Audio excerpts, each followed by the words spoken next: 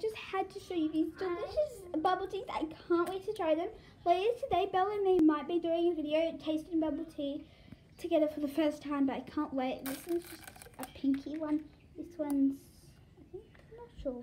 And this one's just another one. I can't wait to try them. I'm so happy you guys need to get it. Um, Chatime, I got mine from. So, thanks for watching, guys. I hope you like them and you need to try them. So bye for now.